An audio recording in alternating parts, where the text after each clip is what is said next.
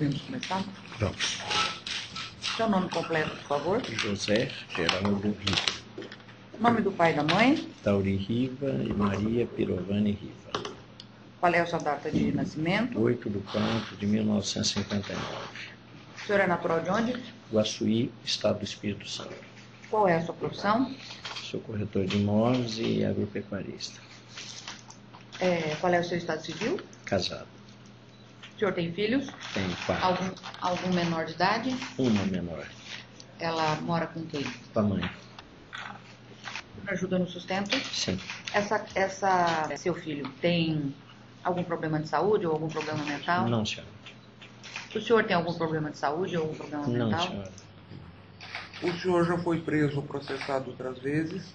É, na Operação Ararat uma vez e aqui na Operação Metástase e essa Operação Imperador e Ventríloco. Ah, é, fora esses processos que tramitam na sétima vara, o senhor tem outros?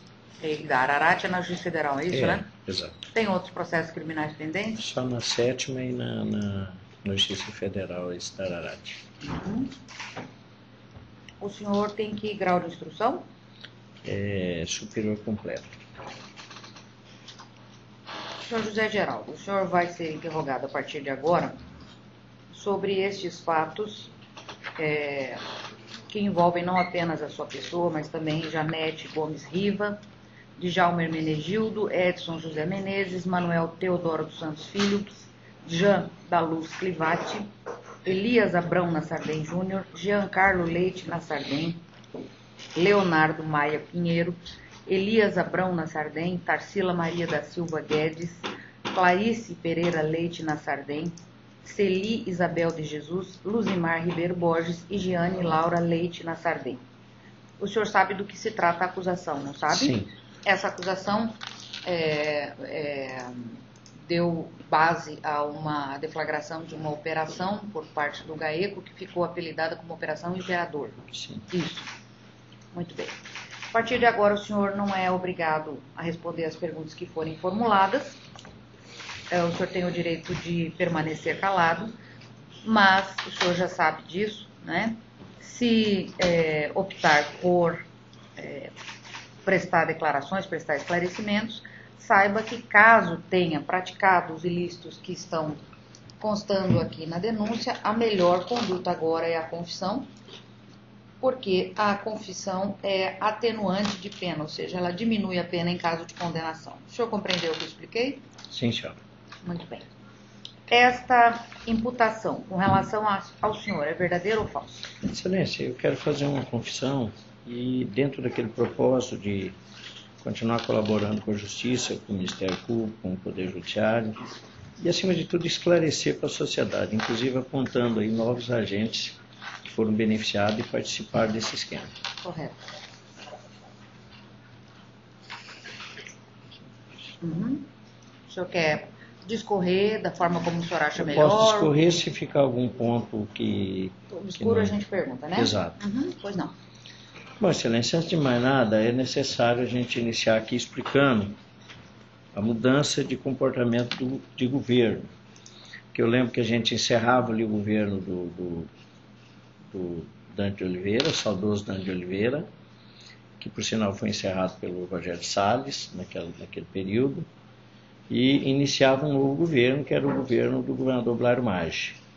E o governador Blairo Maggi foi, naquele momento, eh, teve um discurso muito duro em relação à Assembleia, em relação aos deputados, e veio a se eleger governador com uma bancada muito pequena, de, se não me engano, 4, 5 deputados, contra 19 deputados que supostamente seriam, deveriam ser oposição, mas que eh, na maioria não foram.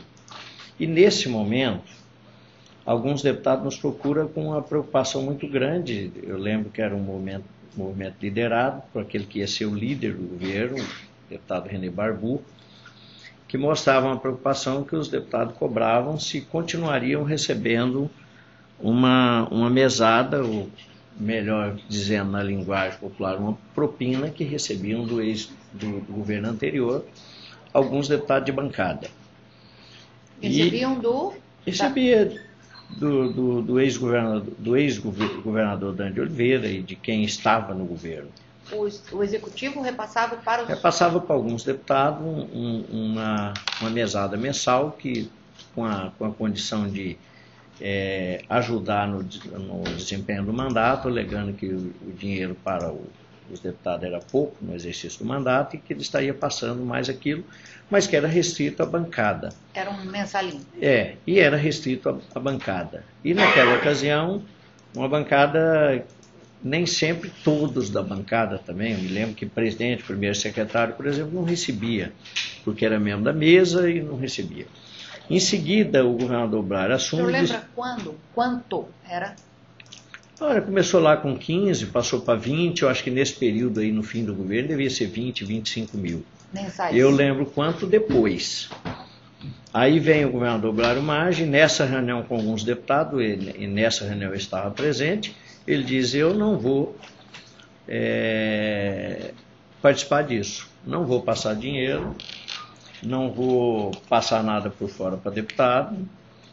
E vai, daí a pouco ele sugere que uma forma que ele poderia fazer era a Assembleia fazer o orçamento e depois, fora que fosse suficiente para tocar a Assembleia, ele estava disposto a passar um por fora que aí a Assembleia fizesse a ajuda, mas condicionando que fosse para todos os deputados. Ele falou também para passar apenas para a bancada, isso vai gerar uma, uma, vamos dizer assim, um descontentamento, isso vai ficar ruim. Então que passe para todos. E nesse momento, em 2003, começa isso. Essas empresas, elas deram suporte para isso. Essas empresas, não só as cinco empresas, que aqui são cinco, não, não são seis, porque uma delas recebeu dinheiro das outras empresas, mas na verdade eram cinco empresas.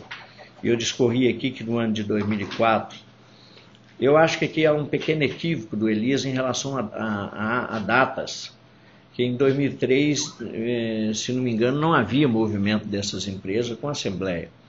Houve em 2004, 2005, 2006, 2007, 2008, 2009. Encerrou em, se não me engano, em outubro de 2009 e encerrou. Que foi a, o ano que só a empresa real operou. Exatamente em outubro de 2009 foi os últimos pagamentos para essas empresas já no momento real. Então, acho que há um, um, pequeno equívoco aí. Em 2003, 2004, eu era o presidente da Assembleia, primeiro secretário, aliás, é, 2003, 2004. É, só desculpa, eu fiz, anotei aqui, porque é tanta. Eu vou recorrer aqui a minha, a minha lista.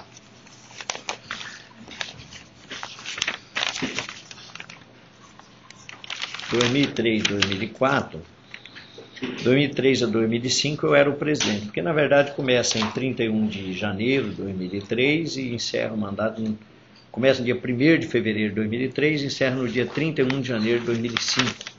Então, mês de janeiro de 2005, mas nesse período eu era o presidente e nesse período, em 2003, 2004, foram movimentados 1.129.941 reais. Foi um levantamento aproximado que eu fiz. Chequei, com essas empresas? Com essas empresas. já nesse momento eram, eram duas empresas.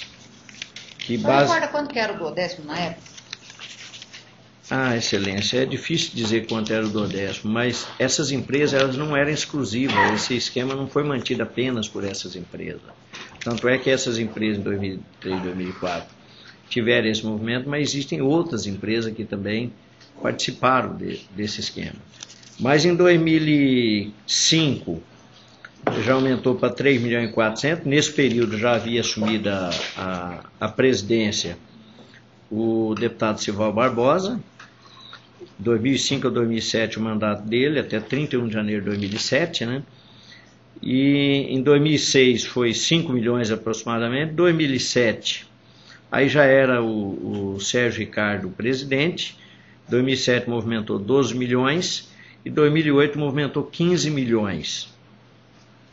E 2009 movimentou 6 milhões e 950.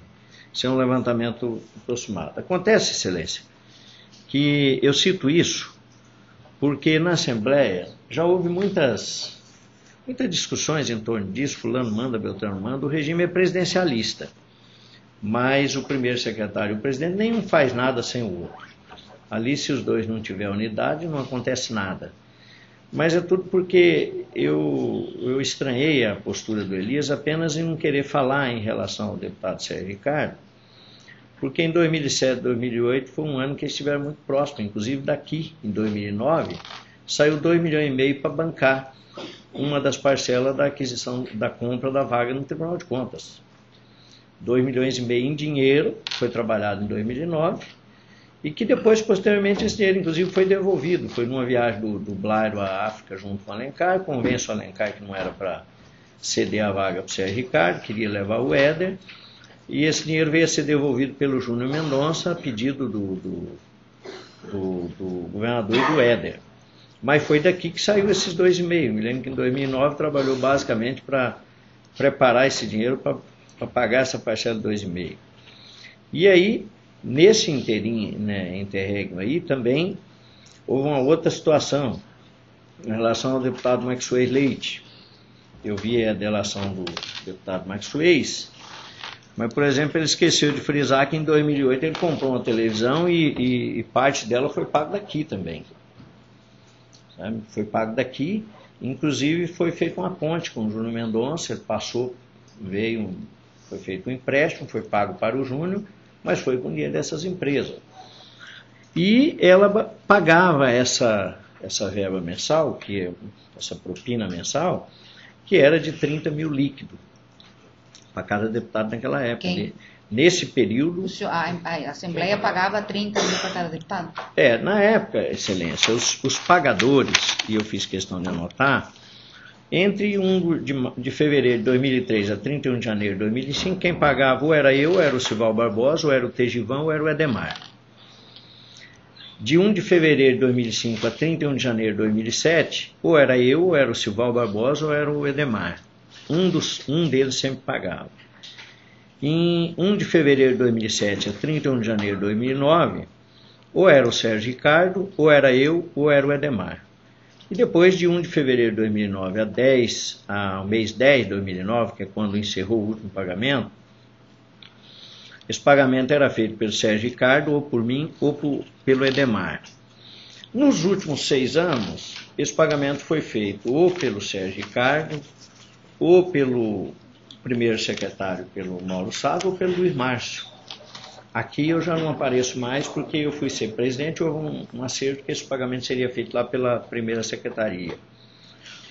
E, o senhor está se referindo a pagamento de mensalinhos desse, a todos Dessa os deputados? propina, não a todos, mas a grande parte dos deputados que eu posso elencar. Uhum. Eu tive o cuidado de minuciosamente cuidar de quem não recebia. Uhum. Eu disse para a senhora aqui, que para Vossa Excelência, que eu teria o cuidado de não imputar nada a quem não devesse, que se eu tivesse dúvida eu preferia assumir. Uhum. E é o que eu tenho feito nessa trajetória, que cada um carrega a sua carga, mas que também aqueles que participaram ou colaborando, até porque essa decisão não era do José Riva, num determinado momento, tinha uma reunião de colégio de líderes e essa discussão era feita ali no colégio de líderes. Eu lembro até um episódio, Essência, que eu faço questão de relatar, porque se precisar testemunha, ele pode ser testemunha, que eu discuti duramente com o deputado Piveta, que foi o único que discordou naquele momento na reunião do colégio de líderes, que não deveria fazer isso, que isso ia dar problema. Essa é uma reunião do colégio de líderes e o único que saiu em minha defesa nesse dia foi o deputado Maxwell Leite Curiosamente, o deputado Maxwell Leite depois delata, e o deputado Piveta, que era algoze que criticava que estava errado, e eu confesso que estava errado e me arrependo por isso, deveria ter ouvido, e ele vem a PUC e diz, não, não apenas o deputado Riva tem que ser penalizado, mas todos que erraram junto com ele, que são 20. Ele calcula aqui em 20. Às vezes, é, num, num, determinado período foi 20, num determinado período foi um pouco mais. Agora, me estranha também uma situação, porque Edemar Nestor Adams, ele teve muita, muita autonomia. E ninguém vai querer jogar aqui, excelência, nas costas de morto. Eu, quero, eu, eu tinha até conversado com meus advogados e tem essa preocupação.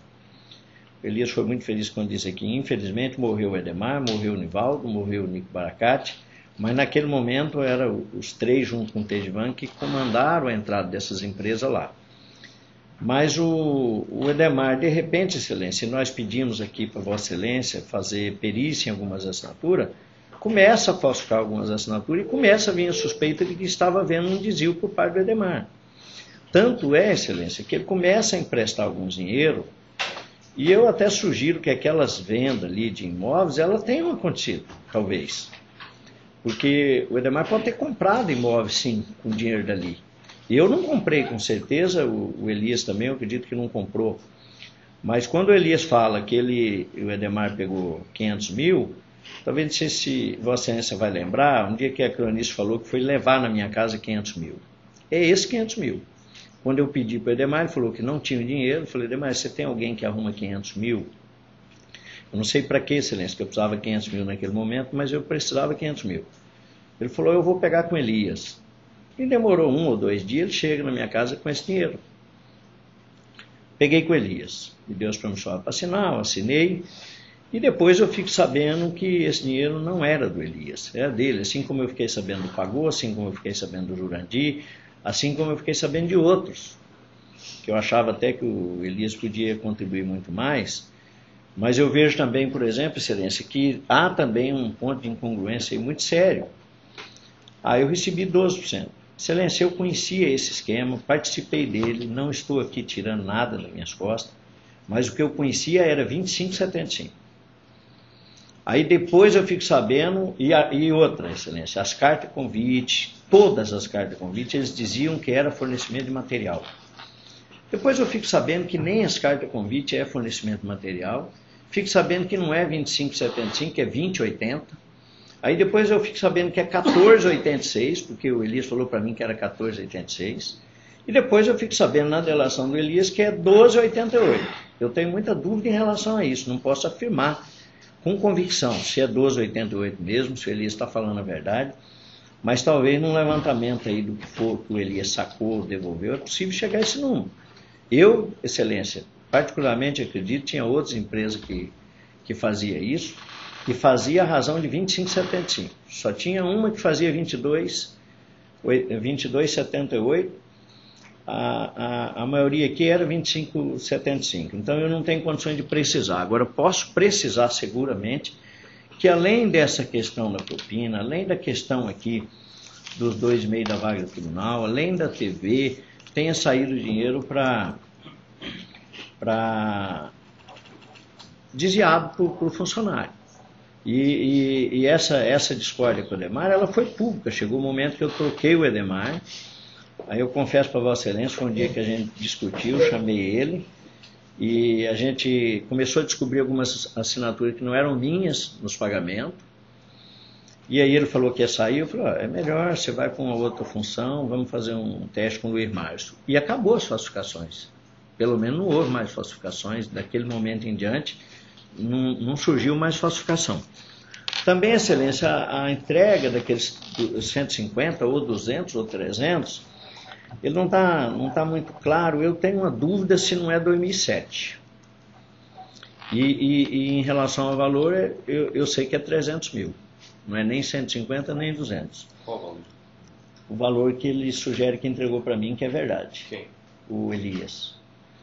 E esses 300 mil era exatamente, tinha final de ano, 10 deputados aguardando esse dinheiro para fazer o repasse de 30 mil cada um, e o Edemar falou, oh, não vou dar conta de entregar esse dinheiro para o deputado.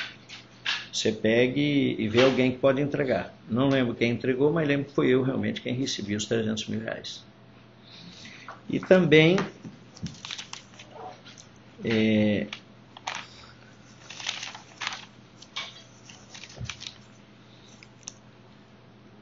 a questão da falsificação também, Excelência, sempre que, que havia necessidade, recorria-se também a empréstimos, que às vezes os pagamentos não aconteciam no momento oportuno. O Júnior Mendonça, ele, ele já narrou isso, e isso é verídico, ele, ele emprestava dinheiro para passar esse dinheiro dos deputados e depois ele recebia de volta, e muitas vezes recebeu através dessas firmas do, do Elias. Outra situação, Excelência, que para viabilizar isso, isso não era uma regra, mas era para ser uma regra, mas não foi, havia uma assinatura num relatório onde os deputados eles, eles assinavam que estavam recebendo material. Então havia um relatório com todo o material que tinha sido adquirido com Elias, é, era fechado para ver se zerava o material das, da nota, eles assinavam recebendo material. Por que que num determinado momento, excelência, a gente questionou aqui e até eles, eles fizeram um documento dizendo que tinham sido desviado documento na Assembleia, foi mesmo desviado, mas foi por eles.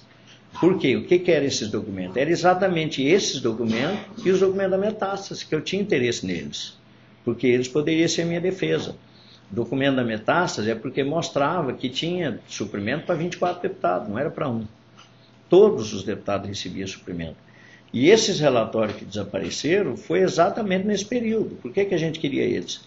Porque eles eram uma prova, uma forma de demonstrar que realmente os deputados assinavam recebendo o material. Material, porém, que não foi entregue. Agora, também não era 100%. Alguns materiais, tem deputado que assinou o relatório e recebeu o material. Eu posso citar aqui o caso do Piveta, por exemplo. Se ele assinou algum relatório e eu localizei um relatório assinado, ele recebeu o material. Tem outros deputados também que, se de repente, pode ter recebido. E é, como é que se fazia isso, excelência? Fazia assim o secretário-geral ele centralizava isso. Não tinha, nem se o secretário de patrimônio, eu, eu fiquei com dó de um cidadão que veio depois aqui, porque ele realmente não sabia, ele achava que, o que todo mundo achava ali, que esse material era entregue na Secretaria-Geral, porque a Secretaria-Geral naquele momento atendia os deputados e ela entregava para os deputados. E esse pessoal assinava assim, o Demar falava, já recebemos material, já entregou, está aqui o relatório da assinatura do deputado. Aí o Djalma assinava, o Manuel Teodoro assinava, o Dijan da Luz Cribate assinava, o, a Janete assinava, que a Janete já disse para Vossa Excelência, se ela soubesse que era assim, eu tenho certeza que ela não assinaria. E, e, e todos eles, a forma que tinha de manter esse esquema sob sigilo era dessa forma. Era que os materiais eram entregues, que eles eram entregues através da Secretaria-Geral, por isso que centralizou o atendimento do deputado na Secretaria-Geral onde o Edemar ou o secretário-geral que tivesse, ele ficava responsável por isso. Também é verdade, essas empresas todas foram gerenciadas realmente pelo Elias, era só ele, o contato que eu tive com ele foi muito pequeno, foi esse desse dia que a gente nem chegou a conversar. E encontrei ele mais uma oportunidade, nunca tive com ele.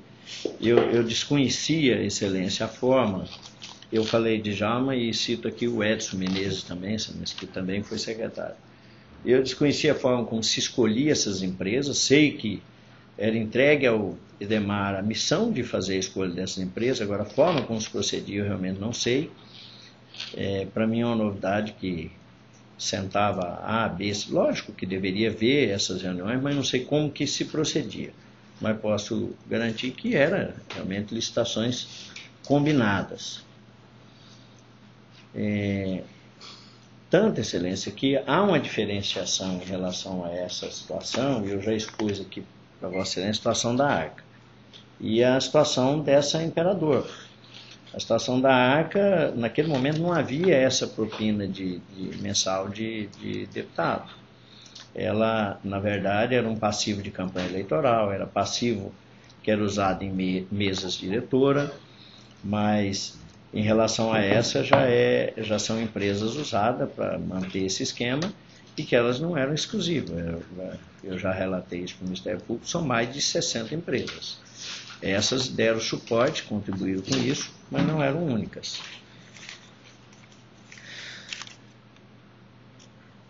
Ah, em relação ao, aos deputados, Excelência, eu Vou, vou, citar, eu não posso precisar os valores, os que eu vi dúvida eu vou, eu vou confirmar 100%, porque é, não tenho condições de precisar especificamente sobre dois deputados, mas eu participei desse esquema e ali, primeiro secretário e presidente, como eu disse aqui para Vossa Excelência, todos sabiam tudo que acontecia, nenhum sabia mais ou menos que o outro, todos participavam. Em todos os momentos, mesmo, por exemplo, nos últimos seis anos, que eu não entreguei dinheiro para nenhum deputado, mas eu sabia que era entregue, como era entregue, quem entregou também sabia, ninguém da mesa assinava nada enganado, e essa decisão era uma decisão sempre de colegiado. Até a discussão do valor era uma reunião que se fazia e discutia o valor ali entre os deputados.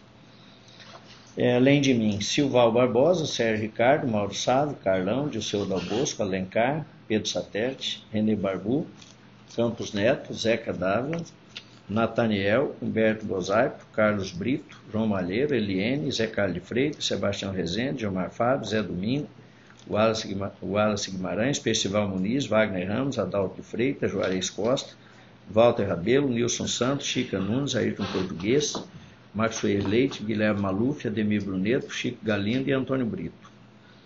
No primeiro período 2003 e 2007, posso precisar com certeza que Chico Dalto, Zé Carlos do Pátio, Sagres Moraes e Verinha não receberam. E posso precisar também que Piveta, é, no mandato seguinte, também não recebeu. Eu, Excelência, eu, dentro daquele compromisso que fiz com a Justiça, com o Ministério Público, com, com a sociedade, o que eu poderia contribuir era isso e fico à disposição se tiver alguma dúvida. Uhum. Eu fiquei com algumas dúvidas aqui que eu não quis lhe interromper mais para não tirar sua, o seu raciocínio. Okay. O senhor disse o seguinte, que é, na época de Dante de Oliveira, o pagamento, ele fazia, o executivo fazia um pagamento diretamente aos deputados de um mensalinho para poder garantir a aprovação dos projetos que fossem de interesse do executivo, é isso? Sim, senhora. Tá. Depois, quando o Blairo Maggi entrou, disse que não ia fazer isso, não ia Sim. passar dinheiro para ninguém, mas que poderia reforçar o duodécimo para que a própria Assembleia se virasse com esse mensalinho, é isso? Exatamente. Pediu que a Assembleia fizesse o orçamento do que fosse necessário para tocar a Assembleia e adicionasse o valor que precisava fazer mensal. Só uhum. condicionou que fosse a todos para não gerar problemas. Só não pegou quem não quis, mas foi realmente a todos. Certo, mas havia um, há um do décimo fixo. Há um do décimo fixo. Então, eu não entendi essa colocação que o senhor fez, porque o do décimo é fixo. Como é que vocês iam, vocês iam fazer o quê? Como é que vocês iam quantificar mais? Não, era é simples, excelência. Fazia conta pessoal, custeio, investimento, imprensa. Deu 12 milhões. A quanto precisa mais para isso? Ah, precisa mais de 1 milhão e 200 por mês. Então passa a ser 13,200. Uhum. Entendeu? Mas isso não era vinculado ao percentual do, do décimo? Não, é, é, o percentual era em relação ao pessoal, excelência. Em relação ao custeio não tem percentual. Então tinha variações. Entendi, entendi. Ele fez esses repasses ciente de que havia essa, essa, esse acréscimo durante quanto tempo? Tanto ele como o Silval fizeram ciente, tanto é que, não, que havia momento em que nunca cobrou posição de deputado, temos que ser realista, assim, ah, tem que votar A ou B ou C, mas quando tinha algumas é, críticas duras aí que algum deputado cobrava, chegava e falava, pô, você tem que conversar com o cara, ele não está recebendo aquilo lá. Havia essa, uhum. essa conversa. Entendi. Sempre houve. Quanto tempo você disse? O mandato inteiro. Dos dois? Dos dois. Muito bem. É, o senhor disse que o Max Leite comprou uma TV que teve parte paga por esses com esse dinheiro dessas empresas aqui da Imperador? Sim, senhor. É? Se não me engano, foi em 2008. 2008. É. Uhum. qual era a TV? Eu não sei o nome da TV, Excelência. Eu sei que foi num momento que passou a eleição, eles perderam a eleição e ele, apavorado, eles compraram essa televisão. O Sérgio Ricardo chegou e me falou que tinha assumido o compromisso de pagar 500 mil e, e eu falei, tudo bem, fez o compromisso, paga. É, esses pagamentos que eram feitos, voltando só para repisar, tanto pelo Dante quanto é, depois dos repasses do Blarmage e do Silval Barbosa, eram mensais. É mensais. Fixos mensais. Não, não, não tinha nada fixo, assim, o valor variava de um mês para o outro. Mas a, o que fazia, a Assembleia fazia um orçamento, o governo nunca é, suportava o orçamento da Assembleia todo, do ano inteiro, dentro do orçamento do Estado, assim como não fazia com o Ministério Público, do Judiciário, do Tribunal de Contas, da Defensoria. Por quê, excelência? Porque geralmente o Estado colocava nove folhas no, no orçamento do ano. Ficava um déficit de, de folha, porque na, com excesso de arrecadação o Estado ia suplementando. Uhum.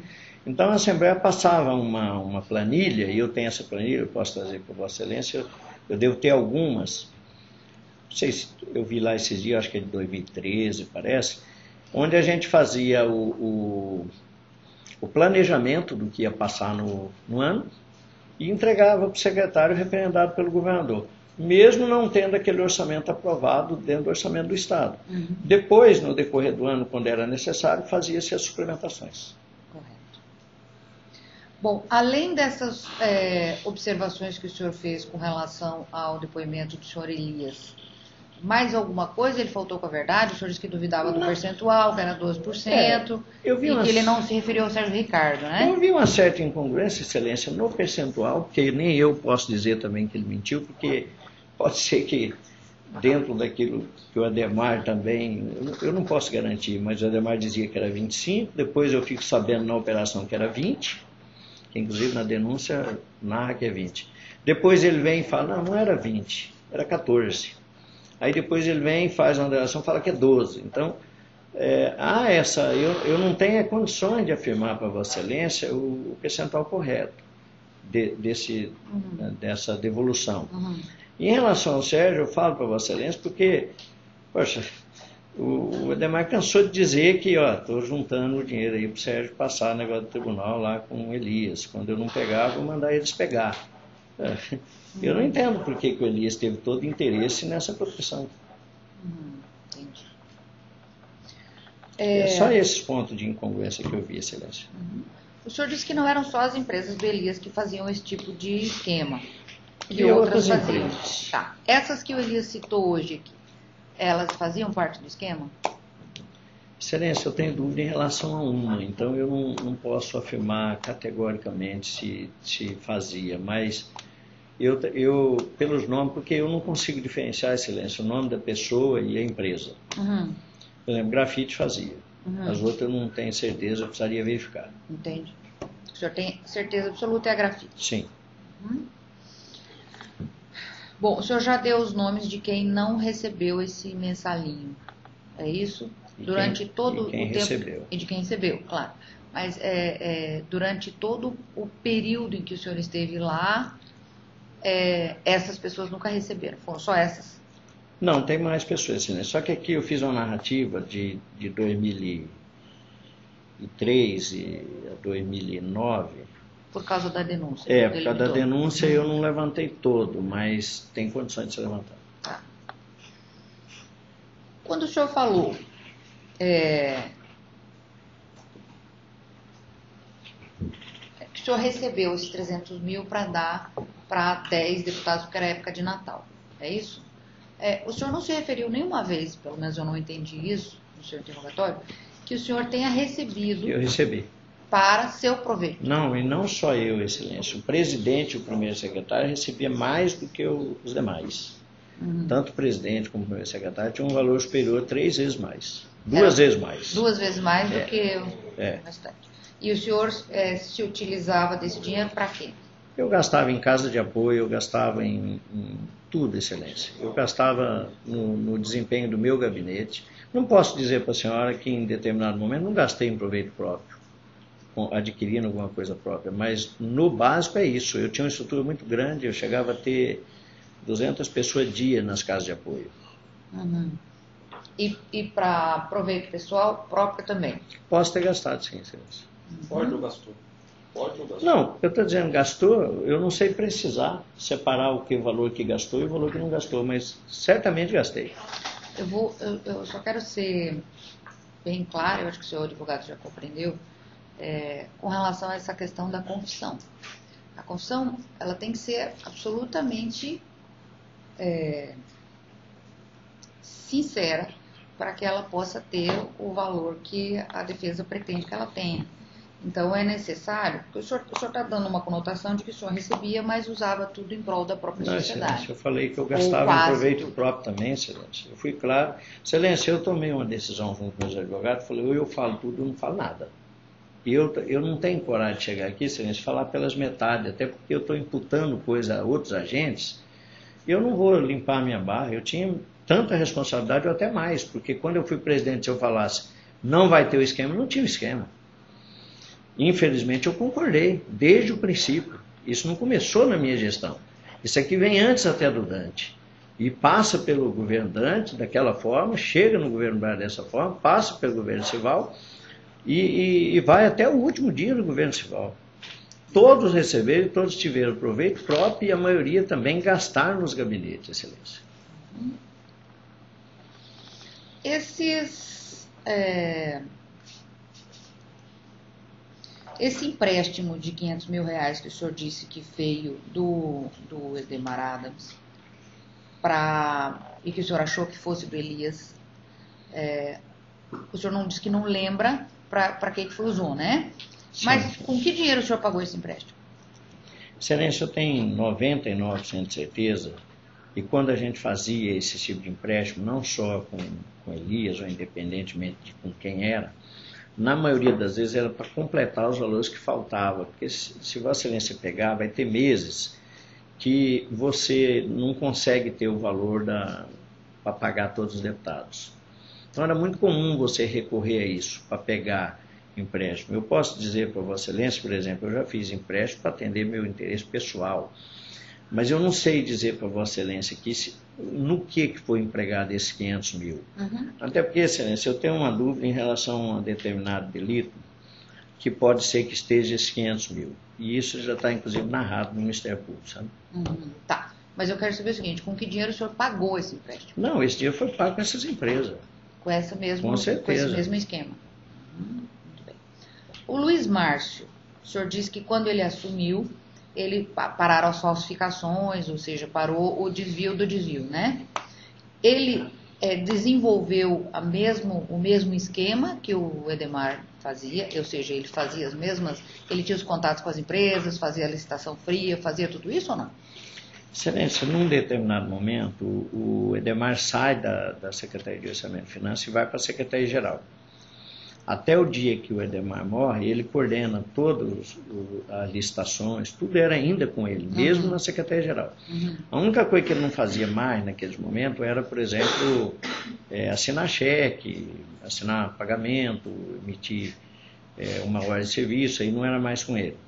Mas até esse momento aí, era o Edemar.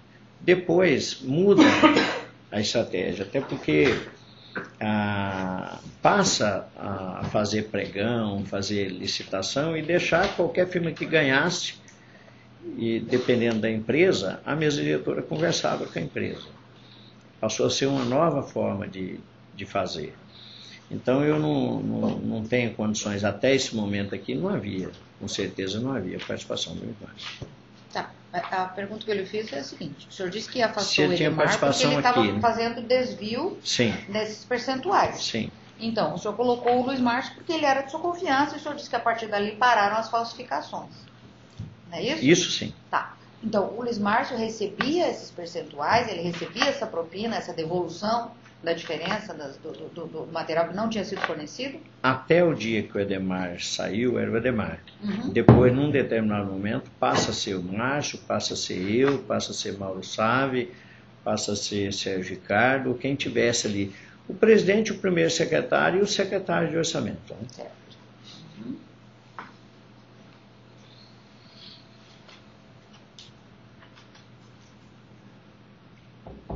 senhor disse que a Janete, Dijan, Manuel, o Edson e o Djalma não sabiam desses, desse esquema. Porque quando vinha para eles assinarem, já tinha sido assinado pelo deputado. Mas uma, um recebimento, um atestado de recebimento, um atesto, era assinado por deputado? Não. Funcionava assim, Excelência. É, o material chegava ah, aliás, o material não, as notas chegavam, era emitida a ordem de serviço daquele determinado material. Naquele momento já era feito uma relação dos material para baixar o estoque. Um estoque que não tinha, que era fictício. Mas como ele estava no, no, na, na ordem de serviço, na aquisição e na nota fiscal, era emitido relatórios. Relatórios que eram assinados por deputado, por secretários, de repente que assinava que recebeu o material, e é, Eu quando falando recibo de entrega de mercadoria. É, quando chegava, o, o só era assinado o atestado pelos secretários depois que chegava esse relatório na mão deles. Olha, esse material já chegou e foi entregue, atesta que foi recebido. Muitos deles atestavam, não sei quais atestaram, porque esse não era um procedimento que eu Mas acompanhava. então tinha que atestar com data retroativa. Não, isso não era problema nunca, excelência. Sempre foi feito assim. Ou atestava com data retroativa, o, o Edemar, ou quem estava lá, preparava tudo, levava e eles assinavam. Era dessa forma. Deixa eu ver se eu entendi. Hoje estacionava um caminhão na frente da, Assembleia para tirar um- uma quantidade X de papel, de caneta, coisa que não, Não, não excelência, tinha. em relação ao material que tinha, que chegava, era diferente. Se chegasse um caminhão de material, aí sim era testado na hora por eles. Certo. Esse material, a alegação que se fazia sempre, tinha até alguns casos, que a alegação que se fazia para eles era que o material foi entregue lá pela empresa. Olha, esse material já foi entregue, porque era muito. Por exemplo, chegava um momento envelope, por exemplo, 100 mil envelopes. Não tinha condições nem de um deputado retirar esse material ali na Secretaria de, de Orçamento. Uhum. A alegação que se fazia é que esse material é entregue direto para os deputados. Uhum. Exatamente para esse pessoal não tomar conhecimento de que esse material nem chegou. Sabe? Mas como vinha aquelas relações assinadas pelos deputados que haviam recebido nos gabinetes, as pessoas assinavam lá o recibo na, na- na nota fiscal O material foi para regularizar, o, regularizar. o- o- processo de licitação. Sim. É isso? É. Tá. Quem que emitia esses relatórios para bater entrada e saída de material frio? O secretário-geral, Edemar. Ele tinha uma equipe para isso. Ele tinha uma equipe que Sim. fazia isso. E a equipe sabia que estava fazendo é, fraude. Ah, com certeza. Não sei se o, o- não sei se o Edemar abria isso para outros, mas quem era o responsável. Tanto é que quando o Edemar saiu, parou de emitir esses relatórios de, de mercadoria. Né? Uhum. Passou a não ter mais. O Edemar, nesse aspecto, era cuidadoso de querer zerar o estoque. né? É, durante a instrução deste processo, alguns deputados vieram é, servir como testemunha para afirmar aqui que tinham efetivamente recebido esses materiais nos seus gabinetes. Quais deles falaram a verdade ou quais deles mentiram? Só os que não receberam falaram a verdade. Se veio algum desses que não recebeu, falou a verdade. E essa relação que você teve, pessoal que recebeu, se falou, com certeza não, não falou. Não entendi. Não. A relação que eu disse para Vossa Excelência, dos que receberam a propina mensal, esses com certeza, se vieram aqui, não falaram a verdade. Os que não receberam a propina, se vieram aqui, falaram a verdade. Eu não sei quais vieram, Excelência. Tem a lista dos que vieram? Não, Como arrolados como testemunhas pela defesa, Eu sei, né? mas ele tem mais de 20 processos. Ixi, ele tem a é lista dos deputados que ele passa um a um. é, é muito. É... É só me falar os que vieram depois que ele fala se mentiram. Excelência, é bem pouco provável, Excelência, que ao, Romualdo, Mauro Save, Então, deputado Romualdo. é, Já pode falar Marinho, todos que- Sérgio Ricardo. O Domingos Sávio veio também. Guilherme Maluf. Hum. Carlos Azambuja. Guilherme Maluf, Marcelo. Acho que é isso. Eles, eles recebiam material, mas não esse, excelência. Esse aqui com certeza não. Esse material aqui, com certeza, esses que a senhora, Vossa Excelência elencou aqui, não receberam. O senhor pediu para eles mentirem em juízo? Não, não pedi, não. Pedi para ninguém, nem conversei com nenhum antes e depois, Excelência. É que cada um que veio aqui depois veio, veio para dizer que não faltava material. Ninguém pediu para eles mentir aqui. Se eu posso garantir para Excelência que não. Não. Não. Havia situações que eu Vocês lembro deputado de- aqui que não fala mais comigo. Então não tem nem como falar com algum Eu deputado. imagino. Mas eu- havia situações que eu me lembro que haviam absurdos naquelas listas. Tipo, 6 mil pendrive, toners e tal. E eles afirmaram veementemente que haviam recebido. Isso não recebeu. Não. Não. Convictamente que não. Essa quantidade não, Excelência. E eles, e eles com a Recebia, verdade que é recebia pedido. pendrive, Excelência. Mas não essa quantidade. E eles faltaram com a verdade que é seu pedido. Nunca, Excelência, pedi para ninguém vir aqui falar A ou B que não fosse verdade. Eu não conversei com a maioria desses deputados. Agora, uma verdade eles falaram aqui, Excelência, nunca faltou material, tinha abundância. E da mesma forma que fazia isso, comprava-se muito material, mas não esse quantitativo aí. E, e era de outras empresas, então. Era de outras empresas. E, e aonde que está a, comprovação dessas aquisições ilícitas? Está lá na Assembleia. Com certeza, que é o material que eu falo para Vossa Excelência que deve ter sumido. Que é- deve ter sumido, não, eles disseram que sumiu. Aliás, Excelência, eu tenho a consciência tranquila porque eu antecipei isso, avisei isso no Ministério Público para algumas pessoas que, olha, falando que estão tirando papel. Depois, infelizmente, ainda eu fiquei eu como o que tirou os papel. Essa lei que também foi discutida na, durante a instrução, que visava, segundo, a, a, enfim, segundo o que foi arguído aqui, que visava organizar a questão de papelada e tal, e que determinou a incineração de, processos licitatórios. Ela foi é, criada, ela foi pensada para poder ocultar esse tipo de esquema? Não, num determinado momento, Excelência, é porque realmente é muito documento que, que, é, que precisava ser destruído e aquela lei ela foi feita fundamentalmente baseada na, numa lei do Tribunal de Contas. E a gente buscou outras informações de outras assembleias. Não é no sentido de ocultar, até porque é, era mantido sempre, os cinco anos de documento lá era mantido, antes da aprovação das contas. Então, aprovando as contas, podia se Não, aprovou a quinta, quando aprovou a quinta conta, destrói o sexto ano para trás. Uhum, Fica cinco contas aprovadas sempre com a documentação. uhum. Pelo menos era assim a lei, né? Então, não foi criada nesse intuito? Não, não foi. Então, tá.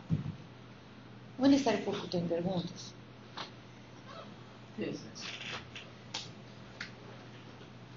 Senhor José Geraldo, Sim, boa tarde. à tarde.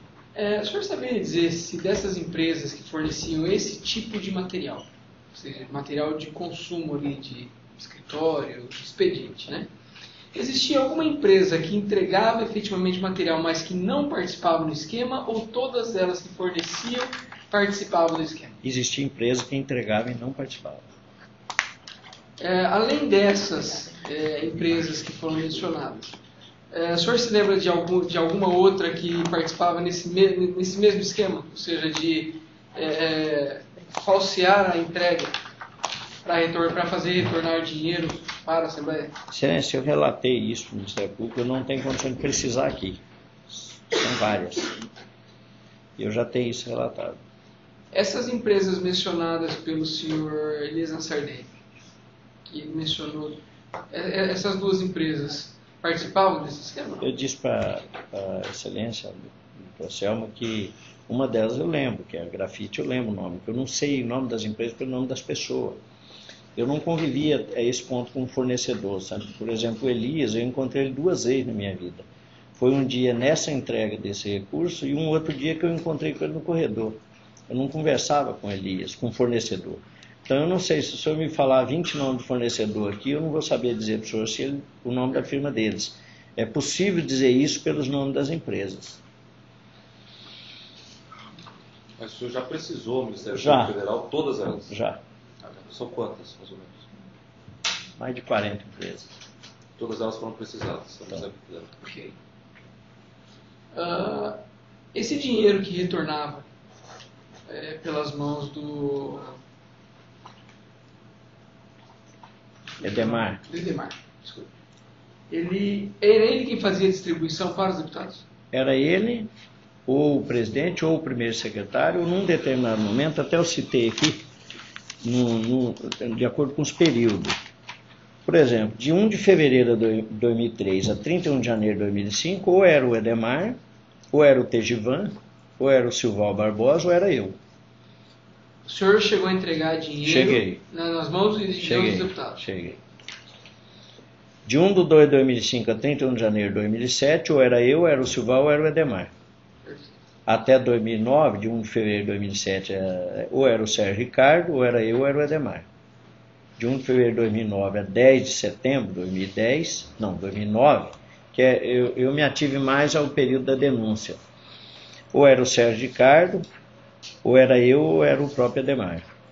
Posso assegurar que nos últimos seis anos, eh, sempre foi mais a primeira secretaria. Eu, quando eu exerci seis últimos anos da presidência, eu não entreguei mais.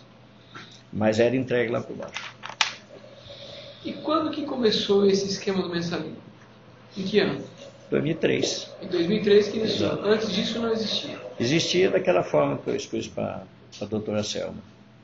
Alguns deputados da bancada eram beneficiados direto pelo governo através do líder. Mas o generalizado começou Não. em 2003. Não. Satisfeito. A defesa. Sim, excelência, tem, tem alguns questionamentos. Eu, eu gostaria que o senhor explicasse. A defesa juntou, na primeira manifestação que fez ao processo, uma série de documentos da Assembleia Legislativa, isso ainda em 2015, tá? que são relatórios de estoque, cada um deles assinado por um deputado. Então, aqui eu estou, por exemplo, com um relatório de estoque, datado de 26 de 11 de 2009, assinado pelo deputado Alain Maluf. Eu queria que o senhor explicasse. Alana Guilherme. Guilherme, né? Desculpe. desculpe. É, Guilherme Maluf. Explicar? O que, significa esse documento? Esse documento é verdadeiro? Não, esse documento não é verdadeiro. Esse aqui é uma relação de material apenas para dar suporte. Pode, pode verificar que o esse relatório é assinado de três em três e sempre com os valores mais ou menos, excelência, correspondente aos valores que eram pagos para eles. Então era um relatório onde apenas procurava dar da legalidade com material que na verdade não entrou. Que era um material que só tinha no relatório, não tinha ele de fato. Constam também, no mesmo sentido, documentos idênticos assinados pelo senhor. Eles constam da- das folhas.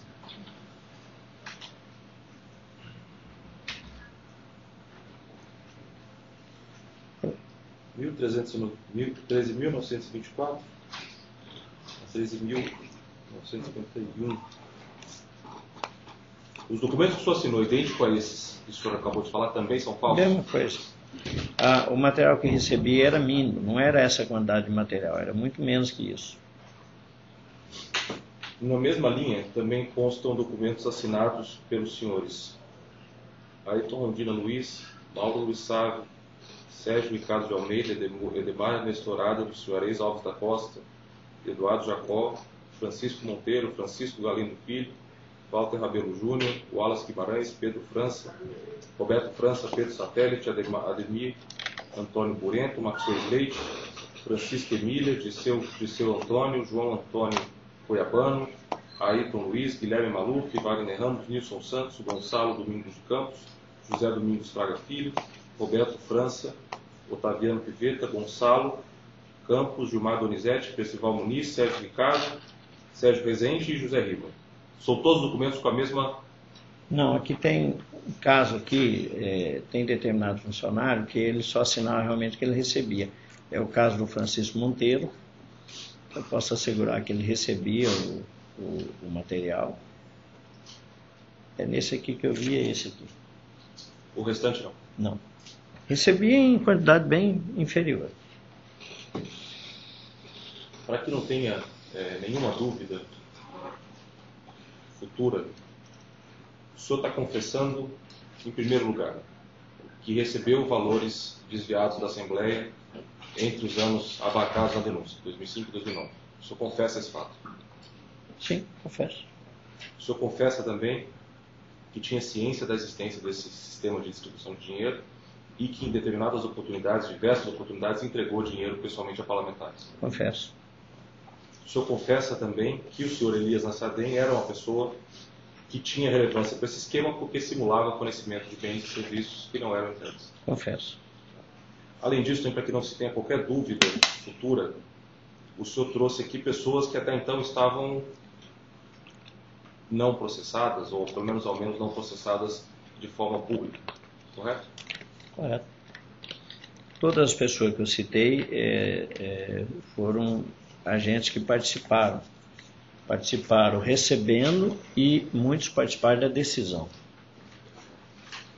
Além disso, o senhor também é, já trouxe, é, e eventualmente se houver alguma dúvida aqui pode trazer novamente, mais de 40 empresas que tiveram um esquema semelhante a esse que é apurado nessa ação penal. Sim. Há quanto tempo o senhor entregou isso ao Ministério Público Federal? Uns seis meses, talvez. Mais ou menos. Está Desculpa, doutor, o que, que entregou o Ministério Público Federal? Essa é a relação das a empresas. relação das 40 Dessas empresas. empresas. Eu não sei É, se. é, eu não sei. Ministério Público Federal? Excelência, eu não sei se são 40, na verdade. É, é, Eu estou dizendo que são aproximadamente 40. Não dá para. Mas tinha verba federal aí, não? Não sei. Na verdade, há uma a Operação Ararat Há uma investigação, né? foi demandada, nós entregamos. É. Entendi. Eu só quero colocar isso, Excelência, para que, é, só explicando a pergunta, tá? é, para dizer que a colaboração aqui não é tardia. Uhum.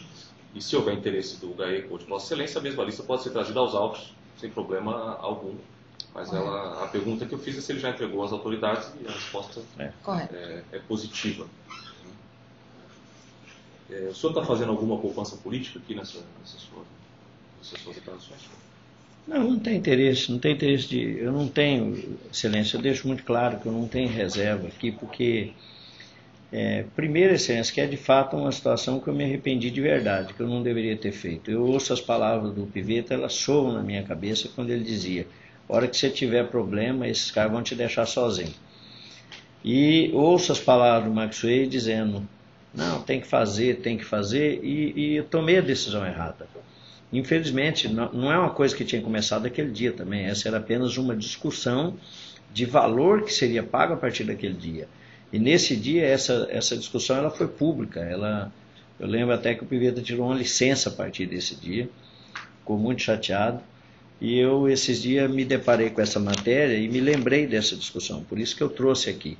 Então não tem reserva, eu estou realmente de espontaneamente aqui colocando para contribuir mesmo com a justiça, com o Ministério Público e, e prestar conta com a sociedade para dizer que eu não roubei 500 milhões, eu não desviei esses milhões de dinheiro. Mas o senhor Eu contribuí para que isso ocorresse.